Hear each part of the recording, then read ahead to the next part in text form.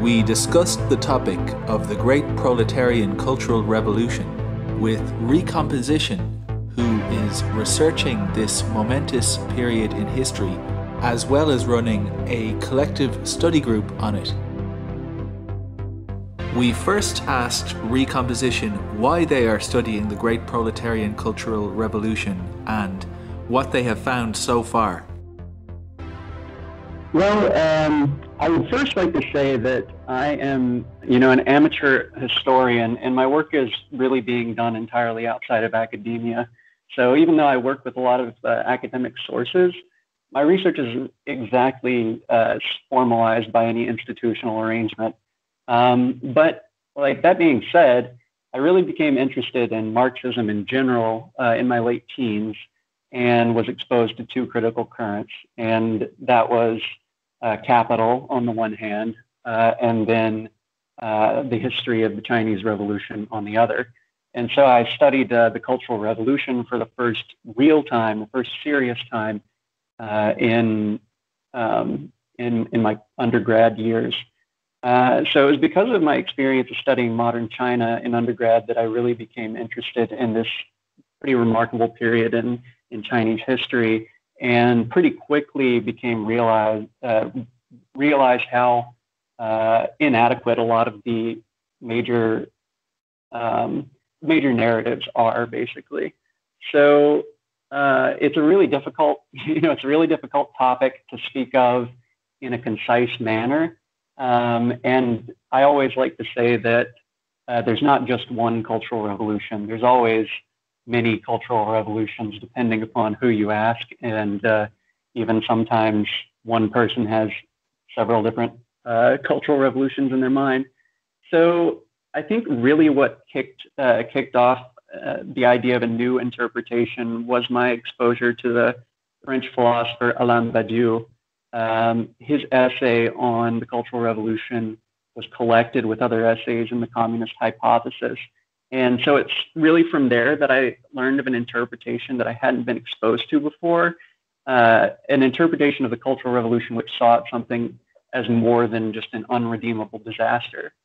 So it opened up the possibility that the Cultural Revolution, even though it officially failed, opened new vistas for the communist movement and is still active in the questions of the recomposition of the communist project today.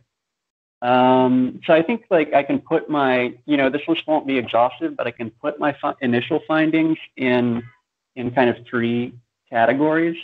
Uh, I would say that I'm studying the Cultural Revolution because it kind of forms both the apogee and the terminus of the classical communist sequence, which I rec- retroactively include with uh, other famous events like the Paris Commune uh, in 1871 and the October Revolution in 1917. Um, so the Cultural Revolution uh, actually took place between 1966 and 1976. And uh, it's kind of divided into two uh, separate parts. And that's one of the, the, the, big first impressions that one gets when reading about it. Basically, there was the early period, which is the period of mass mobilization from 66, 1966 to 1968. And then there is a long coda or tail uh, from about late 68 uh, all the way up until Mao's death in November of 1976. And this I would kind of uh, consider a more passive and reconstitutive phase. And that's not because nothing interesting happened. It's it's just because uh, it, it's so qualitatively different from the from the initial part.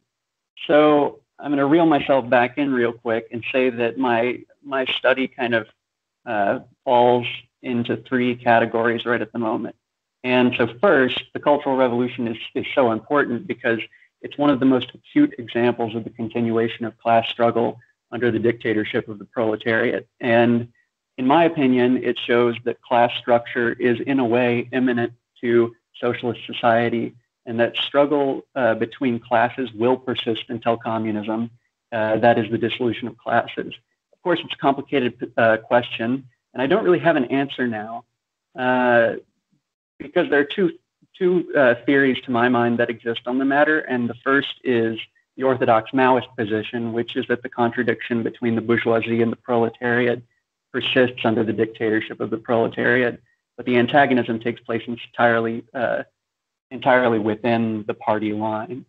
And then the second kind of kind of uh, uh, position that I see uh, is that um, the socialist societies in the Soviet style uh, create their own hierarchies, and there are new class antagonisms between the two.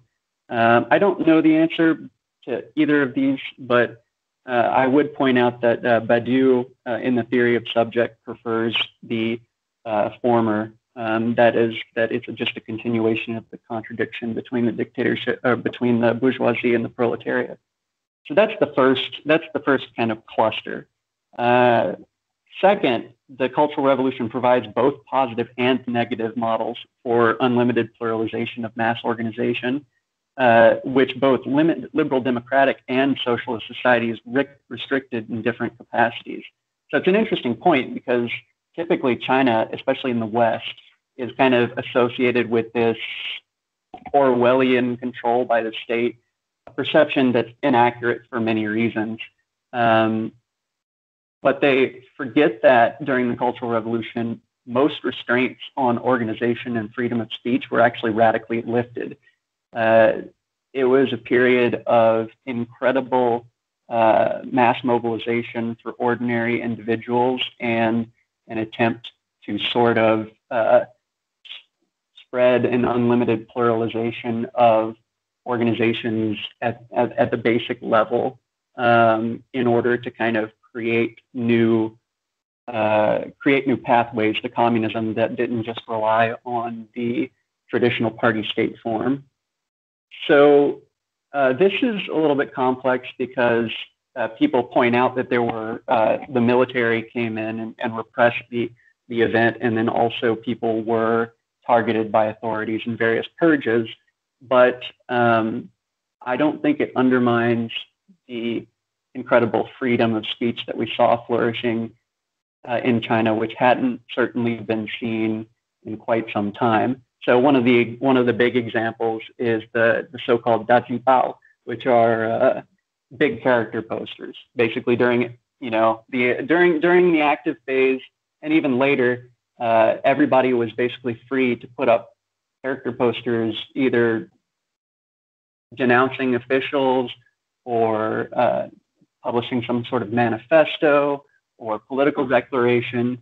And this was one of the main ways for working class and student uh, self expression and political self expression in the time, uh, the time being.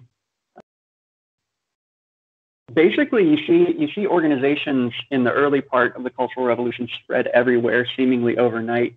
There's one in every school, one in every factory, and every office the early stages of the mass mobilization phase are basically entirely about pluralization and providing an alternative to the, the monopoly of the Chinese Communist Party, like I said. Uh, unfortunately, the negative model uh, is the factionalism that, we, that the experiment led to. And by this, I mean every faction uh, in their respective place divided into two. And uh, they ended up fighting each other over power seizures and subsequently, these rivalries devolved into armed conflict over very little substance. So there's a kind of catastrophic uh, inversion of what was a very promising uh, political phase into a destructive uh, conflict. And sometimes students would even use mortars and rifles, and, and it got to the point of uh, tanks and artillery being possessed by civilians. And this uh, required the armed intervention by the PLA. Uh, so basically, um, to kind of sum up the second cluster, uh, the mass mobilization is both what makes it uh, the Cultural Revolution such a positive and a negative experience. And the negative experience really kind of comes about in that factionalism and the intervention by the PLA uh, because uh, Andrew Walder, in his books Agents of Disorder, which just came out a couple years ago, he makes a really convincing case to show that the, the army intervention, rather than the mass mobilization, was the most uh, the most violent part of the movement. So many people usually uh, associate the Cultural Revolution violence with Red Guards attacking innocent people. But the mass, mo- mass mobilization killed significantly less. Uh, the violence was actually a minority trend relative to the overall proportion of organization. And instead, the restoration of order that happened uh, following late 68 uh, actually killed perhaps four to five times the number of individuals which the mass movement was responsible for. And this finding might upset some people who want to place, you know, the latter, you know, uh, the, the, the, the, blame on red guards.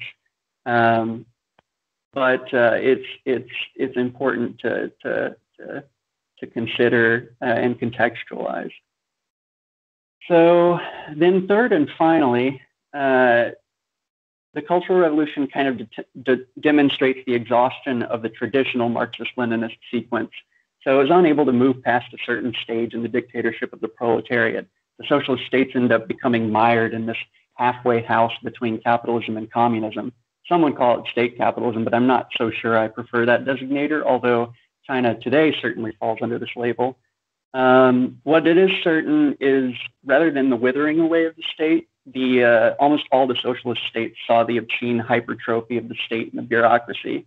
So both Lenin and Mao mourned this late, you know, late in their lives. They were quite aware of this issue, and Mao's entire tenure was basically to try to grapple with this issue and continue the revolution uh, from within the revolution. And uh, I think um, JMP, the Marxist-Leninist Maoist uh, uh, philosopher, has said elsewhere that the Cultural Revolution, uh, one of its downsides was that it was under theorized too little and too late. And unfortunately, I kind of agree with him. But that's the the, the beauty of of um, being able to, you know, work on this in retrospect as a historian is that we have at least certain vantage points that weren't afforded to them uh, at that time. So the end of the Cultural Revolution, you know, really kind of uh, represents a sort of defeat uh, and a return to a kind of modified version of the uh, the pre-Cultural Revolution status quo. Um, but uh, but I think that still really that initial uh, mass mobilization phase between 66 and 68 are what makes the Cultural Revolution so profound and still provides lots of answers and questions as to what uh, radical egalitarian organizing would look like in the present moment.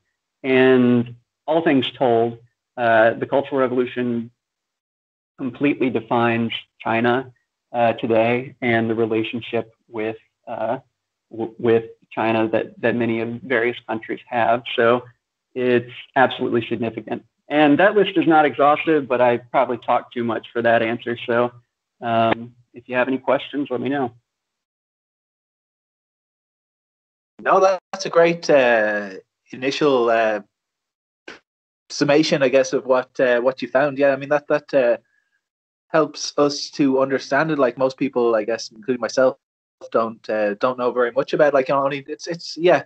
I think you said it right. It's uh, such a huge topic, and it's also so under theorized. It's hard to know what the heck uh, it is uh, for for for people. So that's a great great, great start anyway. Um, well, I mean, I, you already gave an answer for this one, but just um, I'm wondering, like, could you, if you had to, uh, if you had to uh, say what the, the the, the the cultural revolution, the great proletarian cultural revolution was, uh, maybe you could uh, tell us, give us an uh, yeah, t- tell us what you think. What, what what you what you think that that is. yeah. If you could, could you relate it also to the the Paris Commune and the October Revolution? Yeah, absolutely. So, like I said, you know, it's very difficult to sum up the Cultural Revolution concisely without the risk of major misconceptions and without potentially pissing people off. So, um, I'm going to try to do my best. Uh, as you mentioned, I've, I've kind of spoken a little bit about it in the previous question, but uh, the Cultural Revolution um, was a collection of social movements that were first initiated by Mao Zedong and his uh, faction uh, within the Communist Party of China. Um, the, uh, the, the initial salvo was actually opened uh, by a critique of a play written by uh, the vice mayor of Beijing, Wu Han. And that play was called Hai Rui Dismissed from Office.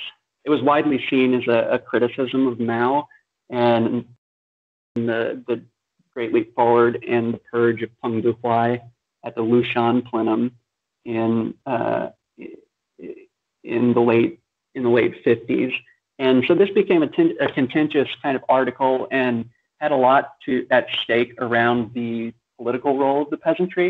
And I won't get in that to that too much, but basically I just want to make the point that the Cultural Revolution opened with a critique of a play, which is a pretty wild uh, a wild beginning for uh, for for uh, for an event like this. Um, and so the purpose of the Cultural Revolution, uh, according to uh, Mao, was to uh, target authorities in the party um, who were perceived to be heading the nation towards a capitalist restoration. Uh, this basically set off a factional struggle at the top of the party, which cascaded down the respective levels all the way down to the base of the pyramid of the Chinese Communist Party. And at each level, it caused the state itself uh, to, to, to collapse upon itself as each level uh, fought for, for power struggle. And so, as these power struggles occurred, as they kind of had this domino effect downward, uh, the mass the mass parties and organizations which formed uh, kind of acted as auxiliaries and supports for bureaucrats within the pyramidal structure of the Chinese state uh, to target people in authority. Uh, and so you get this really interesting, you know, interesting kind of detonation, which if you imagine, like I said, if you imagine Chinese society as a pyramidal or the Chinese state as a pyramidal structure, then you have this explosion at the top and this ripple, cascading ripple down uh, downwards from each level, and the state literally turns itself inside out. And this is caused by a combination of mass targeting of authorities at every level and the suspension of ordinary activity from the upper echelons of the party. And as the state collapses, the masses become more and more involved. And soon, at some point, what was intended to be a controlled mass movement becomes an uncontrollable social tsunami. And mass organizations of workers, students, dissident cadres overthrow local governments. Uh, for example, Shanghai's municipal government collapses in early 1967 and is replaced by what is called the Shanghai Commune. Uh, this this uh, leads to a rippling effect, which causes the collapse of uh, a number of other uh, local um, local municipalities, and pretty soon everywhere you have mass organizations allied with their bureaucratic counterparts seizing power and creating revolutionary committees in uh, each um, you know in each city and so uh, there were radical innovative experiences in popular democracy and collectivization and uh, but at the same time there are obvious downsides just because uh, any kind of movement like this is going to have negative uh, negative effects, uh, although they can be more or less limited. The downsides were that sometimes innocents were targeted. People brought in their personal their personal uh, uh, grief with uh, individuals, and the factionalism oftentimes kind of became entirely focused on the question of seizing power, and it made it made none of the other uh, it made none of the other considerations quite so important, and uh, and that led to innocent people who didn't particularly have any power uh, being targeted. However, I would like to say that uh, reiterate that that was a minority actually of the uh, the victims of the Cultural Revolution. I would say primarily the Cultural Revolution's targets were um, bureaucrats were government officials. And um, that tends to shock people. Uh, the other the other thing that I would say is that uh, reiterate how that factionalism uh, became so severe that that it got to the point to where people were literally using uh, anti-aircraft guns and tanks against one another. Um, but uh, that actually is is dealt with pretty well uh, by several scholars, and I can mention some later. So basically, you have this initial mass mobilization, which really like uh, it starts as a bureaucratic struggle. It turns into it turns into a uh, popular insurrection against the party state, and then uh, it becomes so uncontrollable that uh, Mao is forced to make kind of a reconciliation with certain parts of the party apparatus, and they call in the PLA to restore order uh, at a great cost to human life. And that actually, ironically, ended up devastating the radical left, and pay, it, it, paved the way to a virtual military uh, dictatorship by uh, by 69 and 70, um, which Mao would later reverse, but uh, it certainly wasn't uh, his intentional goal. So the active phase is kind of ended with the PLA intervention uh, and the Ninth Party Congress in 1969, where Lin Biao is elevated to successor. Um, but uh, but because the Cultural Revolution is traditionally uh, understood as lasting until Mao's death, like we have to really deal with the, the second part. And I'm just going to say a little bit here but so it marked Lin Biao's, uh, the, the defense minister's and head of the military, it marks his rise to, to, to, relative power. He becomes the second most powerful man in, in China. And then at some point, there appears to have been some sort of power struggle that went on at the upper left echelons of the, uh, the Communist Party. And Lin Biao ends up dying under myster- mysterious circumstances, allegedly having uh, allegedly having flown, uh, attempted to flee to the Soviet Union in a plane and crashing in Mongolia. And it's still really not clear what uh, what happened there, but it marked a severe turning point in the last half of the Cultural Revolution, and and severely, it really severely uh, dented a lot of ordinary people's fate in in the event because they suddenly felt that they had been manipulated, and that this person who was portrayed to be you know, Mao's closest comrade in arms, you know, was suddenly turned out to be a, a traitor, and so that kind of revelation is pretty is pretty devastating emotionally for for many people.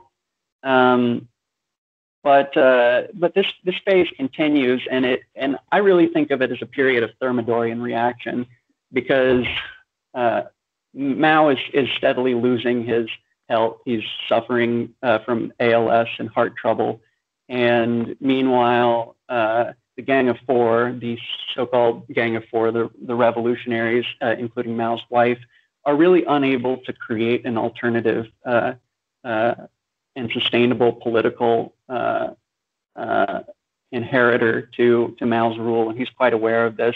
So he's ultimately forced to bring Deng Xiaoping, who had been earlier suppressed by the movement and targeted as one of the, the, the highest positions of authority taking the capitalist road. Um, but Deng Xiaoping uh, kind of has a halting involvement of trying to reconstitute the political order. And Mao himself makes a turn towards the United States uh, in order to offset their uh, the, the, the, the power balance of the Soviet Union, with whom they had a small border war in 1969.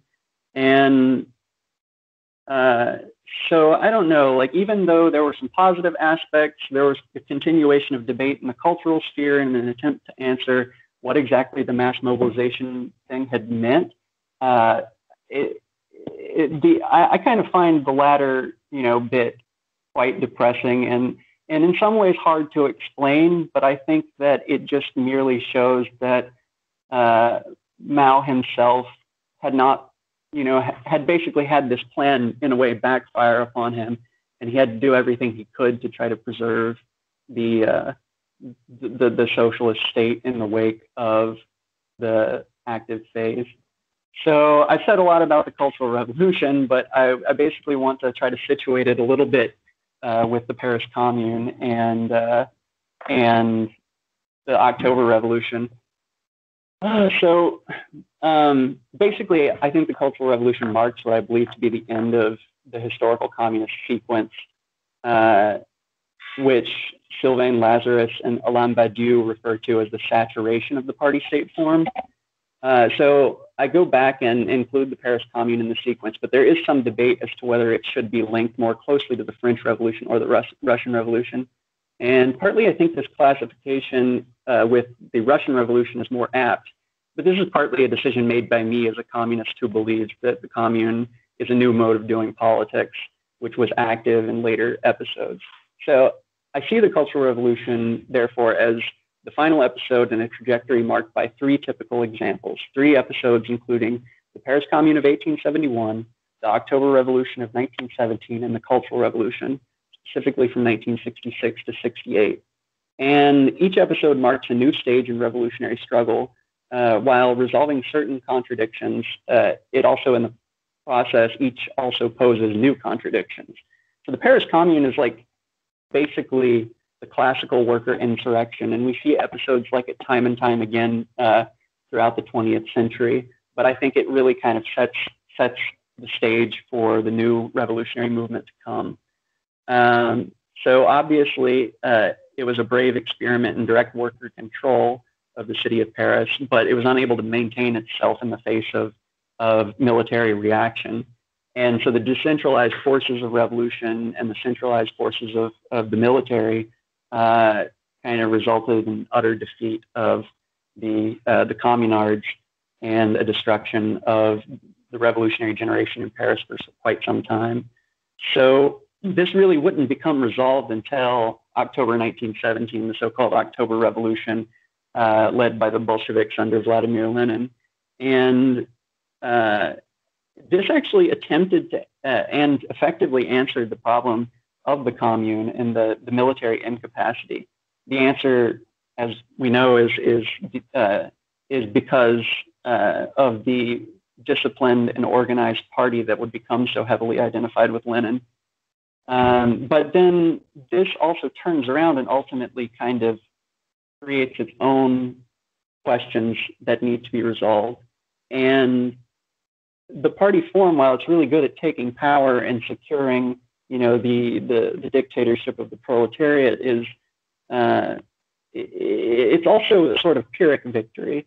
So we see that the Soviet Union ceased eventually at some point, and this is also, uh, you know, up for huge debate, but at some point, the Soviet Union ceased to be a revolutionary state uh, and instead kind of became a technocratic revisionist power. And the contradiction therein kind of generally becomes one between the party state and the masses.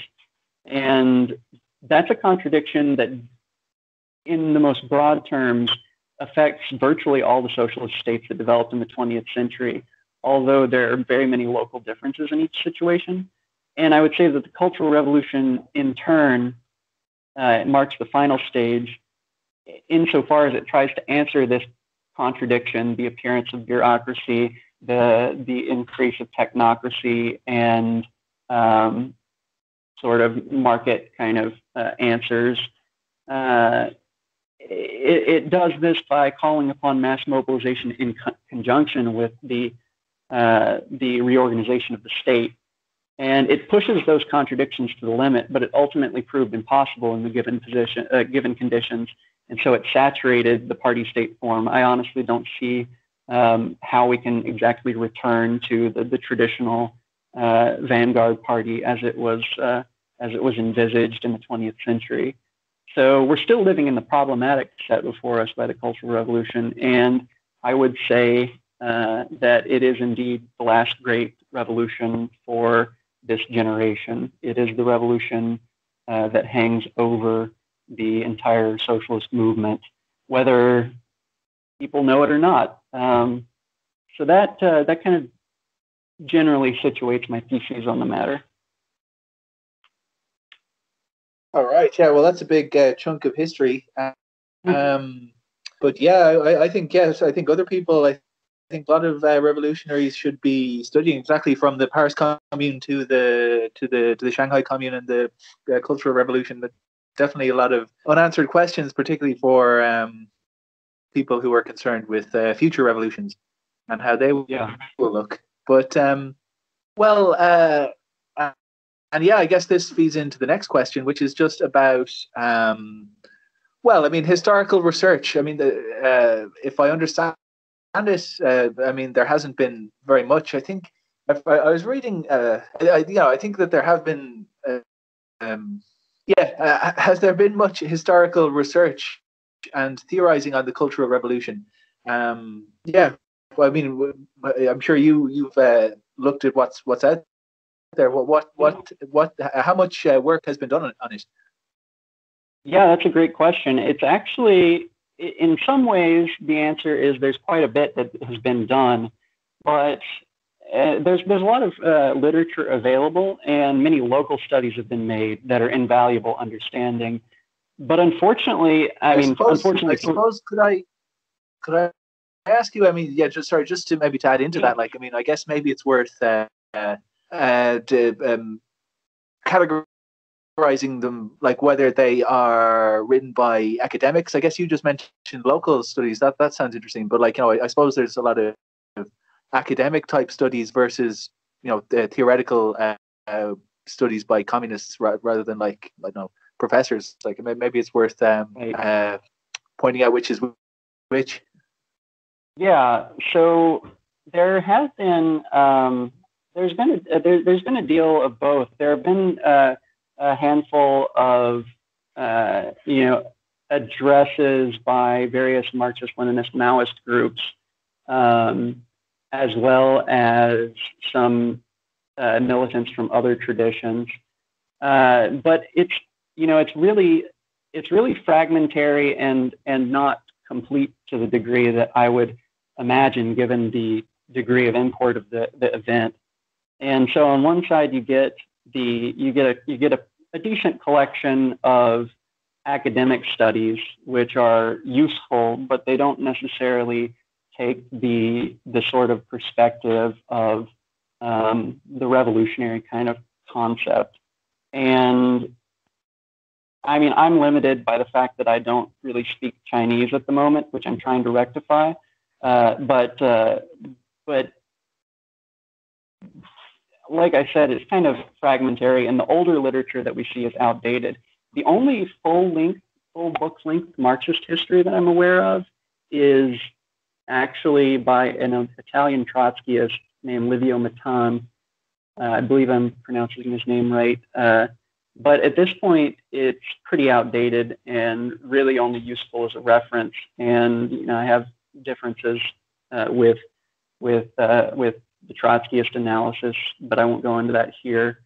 Um, basically, the biggest lacuna, lacuna um, from what I can tell, has been the absence of a complete comprehensive Marxist analysis of the Cultural Revolution.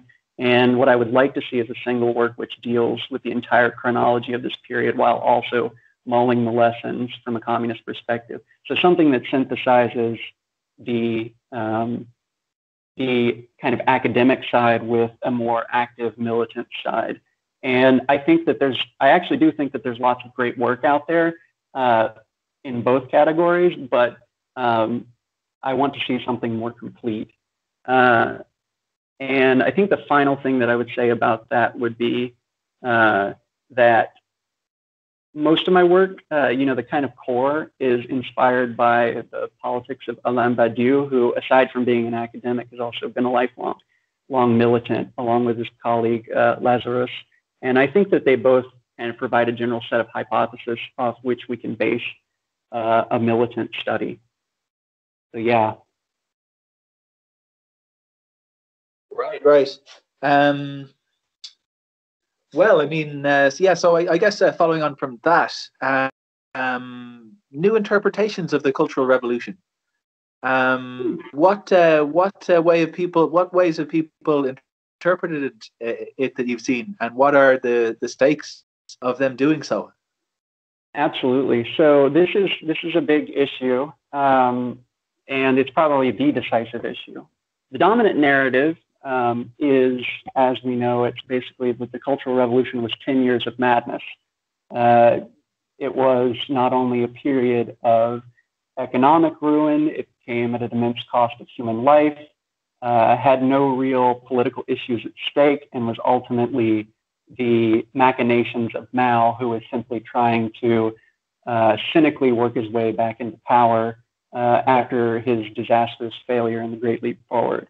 And ironically, this narrative, which is very misleading, um, is shared not just by anti communists in the West, but also the Chinese Communist Party. On this, they actually agree. And ironically, you see liberals almost supporting the kind of Stalinist mode of doing politics uh, to the sort of mass mobilization that, uh, that Mao envisaged, uh, which I always find ironic. And so, really, kind of the first major issue of interpretation is whether or not the Cultural Revolution was pure disaster or if it was something which can offer positive emancipatory lessons. Um, uh, one of the examples that I think of for the dominant uh, perspective is that uh, there's a high circulation of so called scar literature, uh, which has accounts of people who were targeted by the Cultural Revolution for various reasons. And while they have value, they're not they're not appropriately contextualized when they're taught, at least from my experience in high school, because uh, one of the examples is the problem with the presentation of the Red Guards. So we become familiar with Red Guards as gangs of fanatical teenagers who blindly follow Mao and target innocents, you know, including elderly and academics and destroying Buddhist temples.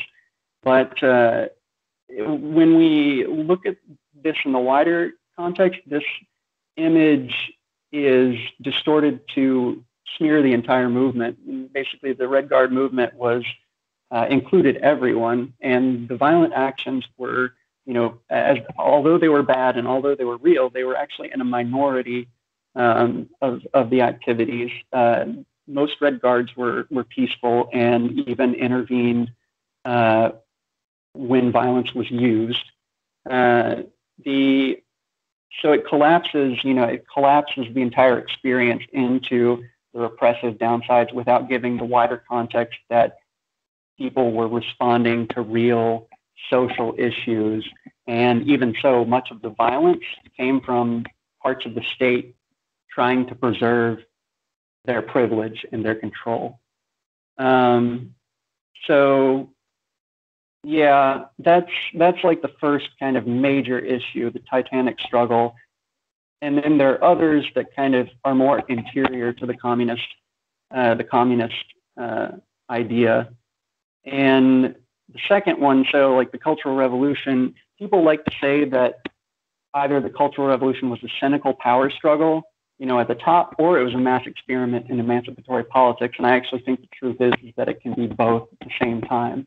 Um, I don't think Mao's intentions were entirely pure, but like it's also undeniable that he uh, that he really believed in what he was doing, and I think he was authentically trying to bring about a uh, an emancipatory situation.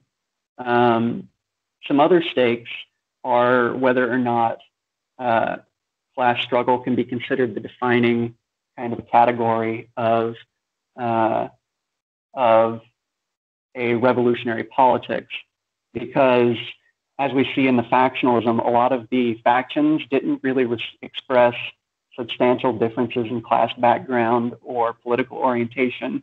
And that's one of the uh, big kind of riddles of the entire event as to why that happened. And Andrew Walder actually describes it in a couple of his books, uh, Agents of Disorder and uh, Fractured Rebellion. Um, but that's also something that Asad Haider mentioned in his recent article for The Point. And um, I tried to engage with that some on my own Twitter because I think that that kind of affects how we would understand and value mass mobilization. So the other issues is whether class struggle uh, continues under a socialist society. Um, then there's the kind of dichotomy between what's called dismissal and pluralization. So dismissal would be uh, between the, the removal of political opponents by violent or nonviolent means. And that's usually the rule of politics, is how politics works. But uh, pluralization, which means the opening up to other, you know, modes of organization in conjunction with one another, uh, was really the main takeaway of the Cultural Revolution. And the two, dismissal and pluralization, became antagonistic to one, one another, and then dismissal ruled, uh, ended up uh, kind of cannibalizing and rendering inoperative the latter. So that's that's another major issue, and that's covered by also by Alessandro Russo, um, who's a great scholar of the Cultural Revolution. Um, and then the last kind of bundle that I would really say would be significant are how we understand state socialism, uh, you know, both in an economic kind of framework and in terms of um, how class society persists under under socialist uh, rule and under the dictatorship of the proletariat. Uh, we need to also, you know, argue uh, a positive kind of example for the Cultural Revolution because uh, I don't think we should or can interpret state socialism as a pure failure. Uh, it's quite obviously more complex than that. And I think that um, we can extract these emancipatory and pluralistic uh, interpretations in order to build, um, rebuild a party. Uh, and so the Cultural Revolution really shows a kind of limitation of that old way of doing politics and instead points towards the famous party of the new type. And I'm not really capable of saying what that would look like. Uh, I think the militants in the real movement will actually end up determining that and not historians. But I can say that the Cultural Revolution ends up kind of demonstrating that whatever happens next, it will need to be able to balance centralized organization with decentralized mass mobilization. And mass organizations will be absolutely critical to any future communist politics. Yes, that's a big question, both uh, before the revolution and, uh, and obviously after it, like uh, in the context that you're talking about. So yeah, we need to get that balance right. And uh, yeah, you touched on a lot of big, big issues there. Um, when you're talking about whether uh, whether the cultural revolution should be seen as a uh, a mass emancipation or like a cynical power game by the elites, it actually got me uh, reminded me of um, a stupid show, Game of Thrones. But they actually did that pretty yeah. well. With uh, they would have you know like the the the the, the characters of the kings at the top going down with like the storylines of the the lowly lowly people at the bottom. So I think what we need is a ten series uh, multi hour long uh, exploration of of uh, of this uh, of, of uh, the cultural revolution to uh, start to understand it. But um, could you could you tell us a bit about your research methods and your your sources on uh, studying this period in history? Yeah, um, I just wanted to say briefly that a TV show about the Cultural Revolution would be tremendously entertaining, um, to say the least. But uh, uh, because it, it in in some ways uh, was very theatrical in and of itself. Um, so as far as my research methods and sources, so I wanted to kind of restate that I am handicapped by my inability to, to, to fluently speak or read Chinese. Uh, so that's actually something I'm working on. Uh, it's it's making slow uh, slow progress, but uh, that prohibits a lot of access to primary literature, which is invaluable for the study. So I'm still, you know, a newcomer relatively to to getting deeply involved in the Cultural Revolution. So my sources are generally secondary literature. So this includes like histories and interpretations, but this is uh, buttressed by any you know primary literature that I can find available. And those tend to be like state polemics, you know, during the Cultural Revolution period, um, whether they came from like internal party documents, like the May 16th notice to the decision in 16 points, or you know to political essays uh, by the likes of Zhang Chunqiao uh, on the dictatorship of the proletariat. And then the last example that I can think of of this sort of primary source material would be the famous ultra left essay called Whither China, and that was written by a group called the Shengwulian. Um, that, this latter one is famous because it ended up condemning the entire Chinese state as uh, bureaucracy and was suppressed by the Chinese authorities. But nonetheless, it was it was a surprising kind of document. So these, uh, you know, my my methods really have been to begin with the mainstream literature, to start at a general, like high level history that is not necessarily written in a Marxist perspective. So, for example, I started with uh, Roderick MacFarquhar's uh, uh, Mao's Last Revolution, and that gave me a general feeling for the dominant discourse on the Cultural Revolution, and it gave me a political reference point that allowed me to dive into critical reading of these. Uh, so from there, I began to work with Marxian interpretations of the event and generally became more focused on microscopic studies of particular episodes in the Cultural Revolution. For example, um, Proletarian Power by Elizabeth Perry and Li Xun, uh, which deals with the politics of Shanghai's working class pol- uh, you know, situation, the commune and the revolutionary committee which followed. In general, I would say that my process, you know, has been to begin with the general, move to the particular, and then move back to the general uh, for a reevaluation. And so some of the other scholars that I uh, have been a huge influence on me are Andrew Walder, um, Wu Yiching is one, uh, Dongping Han, Mobo Gao, and there's there's really there's really quite a bit that's you know that's that's out there but i hope to be able to begin delving into archival uh, primary material sometime in the near future. Uh, i think that would really help.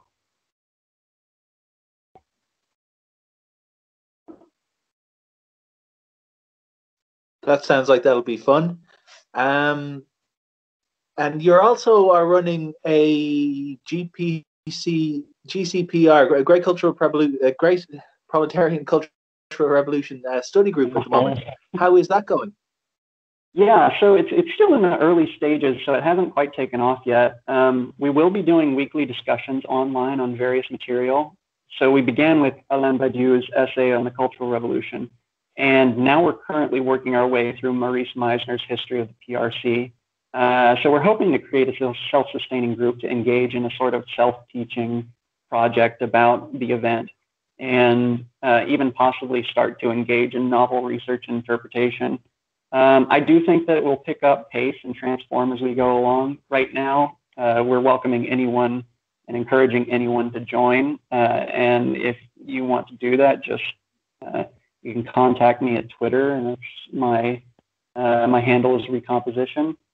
Um, but uh, but yeah, it's it's a work in progress. But um, I have hope that it will be uh, it, will be a fruitful pro- project, and I kind of want anyone to, to feel feel like they can join. That sounds very exciting, and uh, just from what whatever uh, I, have seen and what, what from anyone can see that the the cultural revolution itself was such an exciting uh, period in time, I think people will really uh, probably get, I'm sure they'll get a good kick from uh, from researching it. So it should be. Uh, uh, I, I, would say it's a bit of fun as well as really useful research is how I guess. So um, hopefully, uh, hope I hope it, it uh, goes very well. Um, is there any any other issues you'd like to talk about, or any final words you'd like to say?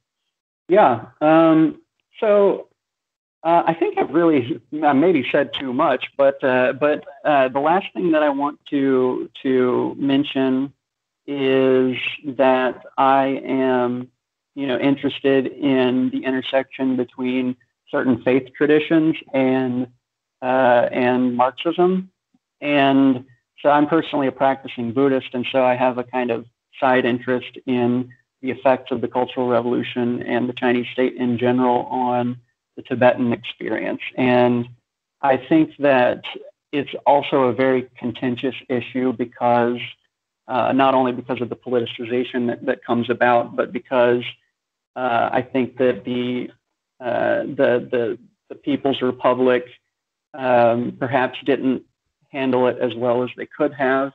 Uh, that they uh, that that it really intersects with issues of great power chauvinism and a, kind of failure of, of, of the principle of national self determination.